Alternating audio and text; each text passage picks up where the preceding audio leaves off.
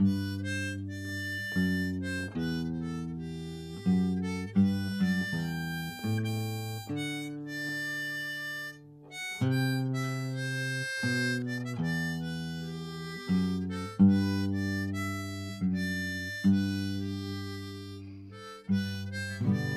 to part 17 of The Conspirators. Look at these two pictures. In the photo on the right, we see what we have been trained to see. A more sad sack looking simp would be hard to imagine, right? But Davey Herold's short life prior to the conspiracy belies his reputation. A grade school classmate remembered years later that, quote, when a big boy imposed on David, he would escape with a funny remark which was called witty, which generally got a laugh, and David was called popular. Unquote. Herold came from a good family and had earned a degree in pharmacology before being captivated by Booth. He had a passion for hunting. He claimed he spent two months each fall shooting partridges in southern Maryland becoming very familiar with the terrain and making numerous acquaintances. Indeed, I know nearly everyone in Maryland, he told interrogators after his capture. How then did he become infamously insipid? For one thing, in order to put up some kind of a defense in a hopeless case, Herold's attorney at the conspiracy trial depicted Davey as, quote, a weak, cowardly, foolish, miserable boy, unquote, fond of jokes and eager to please. Once, the well-turned-out youth in the studio photo on the left, his appearance had deteriorated to the point that journalist Jane G. Swisshelm wrote after seeing him in the courtroom, I think I could not have passed Herold on the street without mentally exclaiming, ape. Additionally, the remarks that witnesses recall him making while on the run after the assassination could either be seen as dull-witted silliness or as calculated misdirection. I think it's fair to say that he was in over his head, and his interactions were probably colored by the immense stress that he labored under. The government's charge and specifications, as they specifically addressed Herold, were written as follows. And in further prosecution of said unlawful, murderous, and traitorous conspiracy, and in pursuance thereof, and with the intent as aforesaid, the said David E. Herold did on the night of the 14th of April, A.D. 1865, within the military department and military lines aforesaid, aid and abet and assist the said John Wilkes Booth in the killing and murder of said Abraham Lincoln, and did then and there aid and abet and assist him, the said John Wilkes Booth, in attempting to escape through the military lines aforesaid, and assist the said John Wilkes Booth in attempting to conceal himself and escape from justice after killing and murdering the said Abraham Lincoln as aforesaid. I quote this at length because it's kind of campy and in order to demonstrate the government's justification for holding a military tribunal instead of a civilian trial. Washington was far from any remaining threat of combat at the time of the assassination, but the military department with military lines still existed, as witnessed by the diligence of Sergeant Silas T. Cobb and his crack guard detail at the Navy Yard Bridge. See episode 8, especially if you don't know that I mean this ironically. Had it not maintained this fiction, the government would be hard-pressed to answer the accusation that it had put the trial in the hands of a military commission in order to railroad the defendants into guilty verdicts without recourse to those wheels of justice that grind slow but fine. As the trial proceeded, Herold asked that he may write a confession and was allowed to do so in the courtroom while the trial was not in session. Unfortunately, his confession was not allowed as evidence and has long since gone missing. In the statement he gave authorities under interrogation after his capture, he denied involvement in the assassination and claimed that he just happened to run into Booth in Maryland later that night. Did his later confession hew closer to the truth? Did it implicate or vindicate anyone else? How tantalizing. As Herold and the others edged closer to their extinction, Their brutal treatment was ameliorated in large part due to the humanity of their prison's commandant, General John Hartranft. The general was successful in getting the canvas hoods permanently removed, except for Lewis Powell's. He got permission to let the prisoners walk in the yard, and he allowed them to receive visitors. Herold had seven sisters, two of whom visited him several times.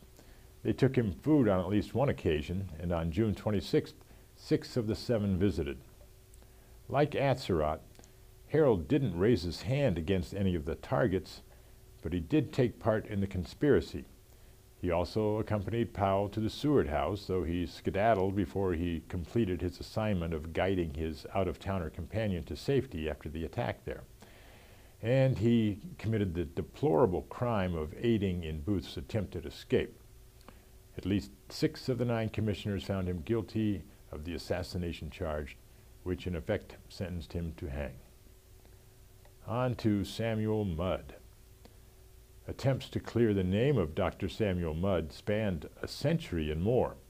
The tireless efforts of his grandson led to sympathetic responses from Presidents Carter and Reagan and a 1982 bill in Congress to overturn his conviction. But the bill died in committee. Dr. Mudd had better success in Hollywood. A 1937 movie directed by the legendary John Ford, The Prisoner of Shark Island, absolves him of any truck with J. Wilkes Booth. Odd as it may sound, many people are more influenced by movies that they watch than they are by history books that they don't read. Thus, a belief in his innocence persists to this day.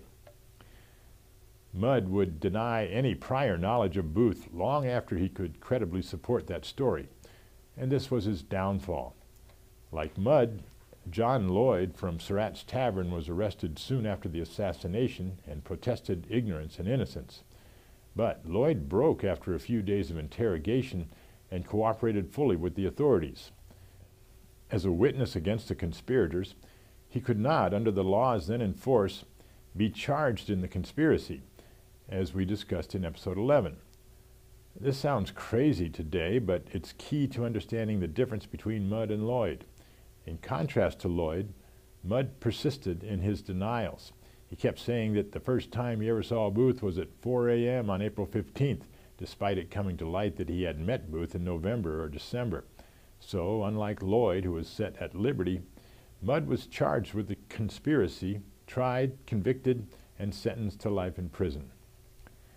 Still, Mudd would likely have fared better if he had been upfront earlier on with the authorities.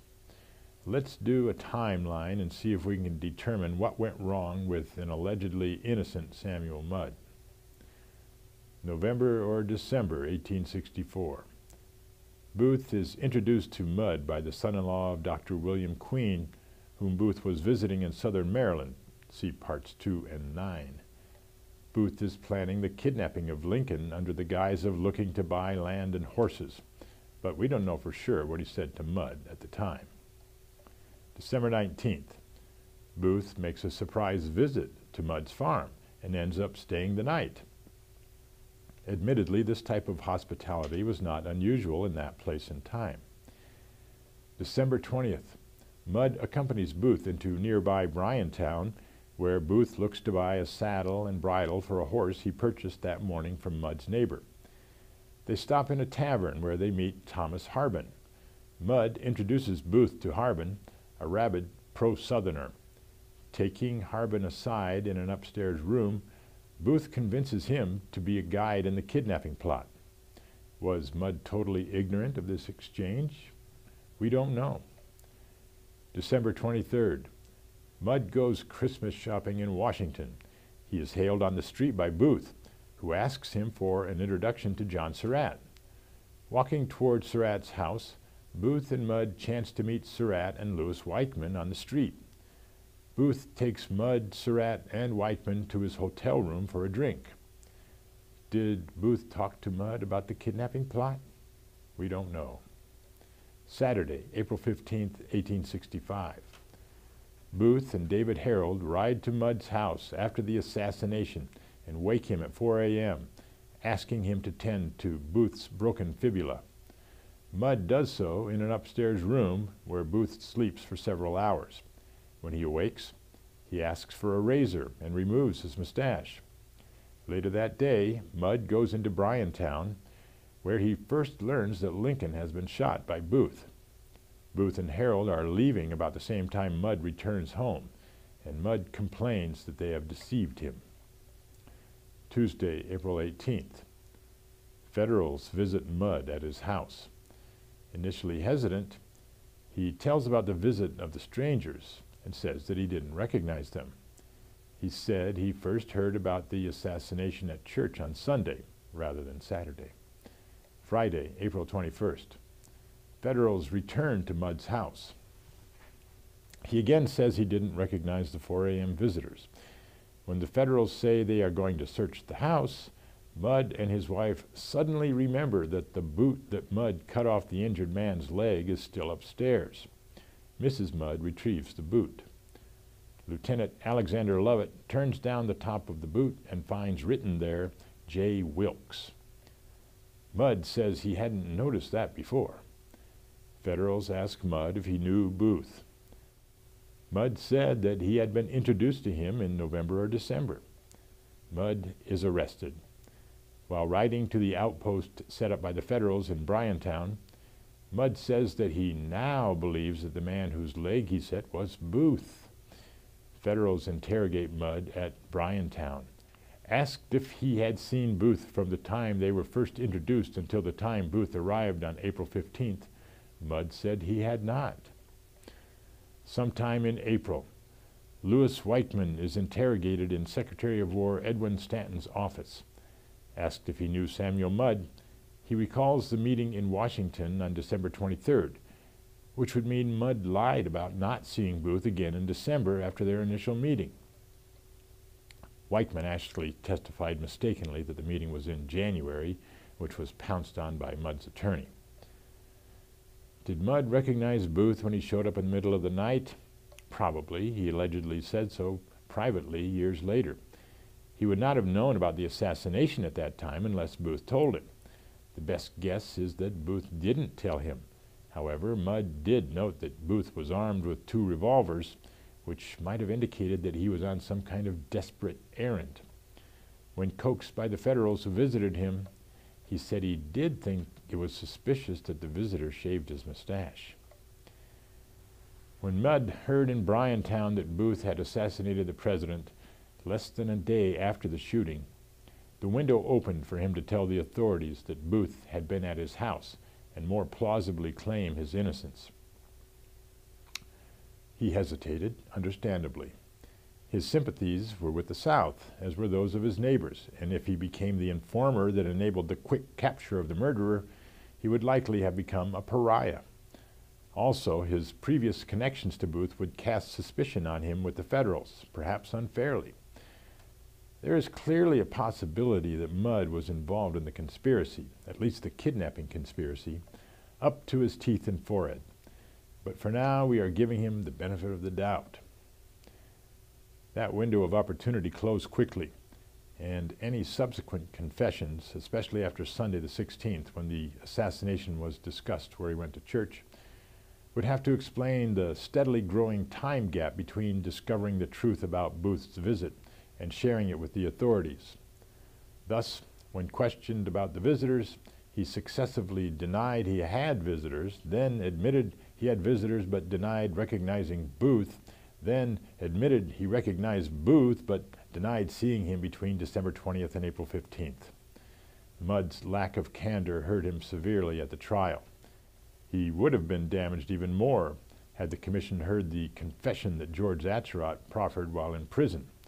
His oral statement, given on May 1st, was transcribed and included the following. Dr. Mudd knew all about it, as Booth sent, as he told me, liquors and provisions for the trip with the president to Richmond about two weeks before the murder to Dr. Mudd's. If true, this would have been consistent with Booth sending weapons and binoculars to Surrattsville. However, when the prosecution brought up the matter, Atzerodt's attorney objected, saying the confession was obtained under duress, since Atzerodt gave it while restrained in irons in a prison cell. The court overruled the objection, but the prosecution inexplicably did not return to that line of questioning. Atzerodt's confession then disappeared and did not resurface until 1977. Was Atzerodt spinning lies in an attempt to save himself?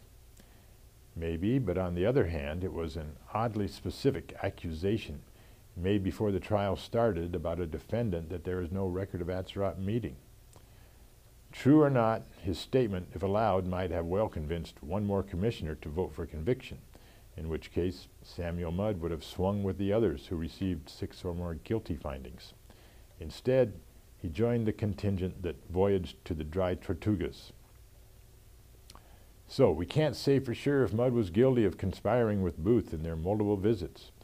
All we can say for sure is that he repeatedly lied about those visits. Once at Fort Jefferson, Mudd soon failed in an attempted escape, which resulted in his hard labor being made that much harder. Then, in 1867, the Fort Jefferson prison suffered a yellow fever outbreak. The prison physician quickly succumbed, and Mudd was asked to take charge of the medical response. He did so in such an exemplary fashion that the soldiers at the fort, who suffered a higher fatality rate than the prisoners, expressed their gratitude to him in a petition they sent to President Johnson. Johnson pardoned Mudd in February of 1869, shortly before leaving office. Mudd's act of historic selflessness may or may not have influenced the pardon. The others were set free as well. But it surely was the difference between oblivion and a sympathetic biopic. Next time on Part 18, Michael O'Laughlen and Lewis Powell. See you then.